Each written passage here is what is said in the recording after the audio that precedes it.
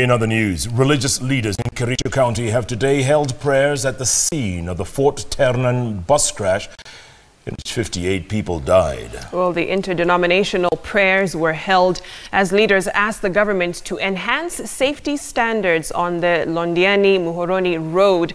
Uh, Following the accident, residents said the winding road lacks signs to warn motorists, especially those that are unfamiliar with the route. Waangalie barabara hii na wahakikishe imerekebishwa to the standard that was intended by the designer. Minister wa barabara na PS wake, wiki hii isiishe kabla hujafika hapa katika sehemu hii ya Kipkelion ambao Wakenya zaidi ya sitini walikufa. Wewe ukiona gari yenye imejaa kama hiyo, tafadhali usipande.